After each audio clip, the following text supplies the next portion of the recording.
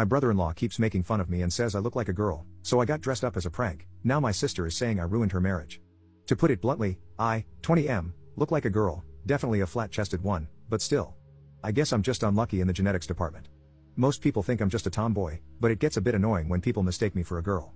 I'm pretty comfortable with myself now, but I used to get bullied a lot for it and I can be a bit sensitive about it. My older sister, 26F, doesn't stop her husband, 30M, from making fun of me and is always doing it. I've told him to stop, but he never does and says it's all just jokes.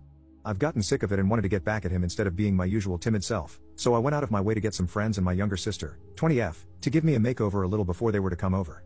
Basically, make me look as girly as possible. They did a pretty good job, and it turns out that if I'm all made up, I look a lot like a younger version of my older sister.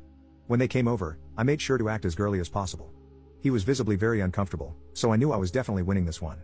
They left very early, and I got a text from my sister calling me a prick for making her husband uncomfortable. She told a few family members, and most are on my side, but a few think what I did was childish and wrong. Edit. I got a text from my sister that I'm a giant piece of crap and ruining her marriage. I don't think I will be seeing them anytime soon, but just in case, I'm going to try and have a proper conversation with my parents about everything and see if we can keep them out of the house for a while. Since I only pay rent to live with them, I don't really get a say, but I hope my parents can support me. Update 1. It's been a wild couple of days. I had to sit down with my parents and had a big talk about my feelings. They agreed that my sister's husband wouldn't be welcome in the house anymore. The only reason they didn't do or say anything about it is because they thought it didn't bother me and knew I'm a tough cookie. They apologized for that and said they would speak out more in the future if anything like this happens again. My older sister had been texting me a lot, calling me all sorts of names, saying I'm ruining her marriage. She also visited yesterday, and as soon as she came into the house, she started screaming at me, and things got heated. So my parents also banned her from coming over until she can apologize for her behavior and for letting her husband continue to make me uncomfortable. On a more positive note, I've been exploring myself a lot these past couple of days with my twin sister. She told me not to call her my younger sister, but I'm 4 or 5 hours older than her, so I'll always call her my younger sister, lol. Update 2. My brother-in-law came to the house yesterday, and clearly he had been drinking. He was mumbling things about how I ruined his marriage, calling me names and other BS. He went to the side of the house and entered through the back door that we never lock, and terrifyingly, he came after me and tried to push my head towards his manhood, and when that didn't work, he tried pulling my pants down and pushing me to the ground. Thankfully, my sister was there to pull him off and threaten him with a kitchen knife.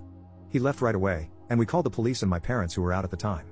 My parents came straight away, but police didn't show up till two hours later to basically just say they can't do anything and that if we want we can go to the courthouse for a restraining order. My parents tried calling and texting my sister to tell her what happened and to find out why he did what he did, but all she texted back was to F off. I'm very shaken up right now, but I'm not going to let it get to me. Update 3. My brother-in-law came to my house again to supposedly apologize, but luckily, I wasn't there, and my dad chased him off while calling the police.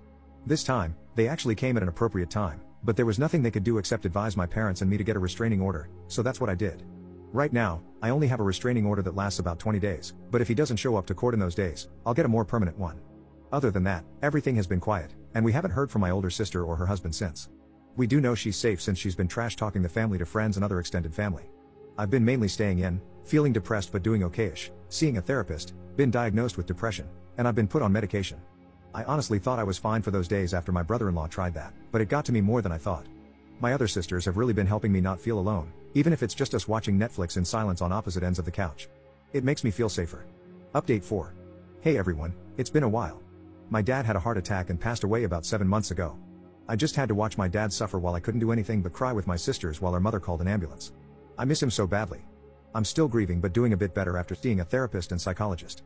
As for my older sister, the last we heard from her was after dad passed away, and all she was interested in was the inheritance. She cursed our mother out when realizing that he left nothing to her, and everything went to our mother. Since then, we haven't heard from her or seen her. What we do know is that she and her husband moved across the country to live with his extended family, so good riddance. On a side note, I got some testing and screening done, and I think I've got some kind of androgen deficiency, maybe that's why I always looked kind of feminine, lol.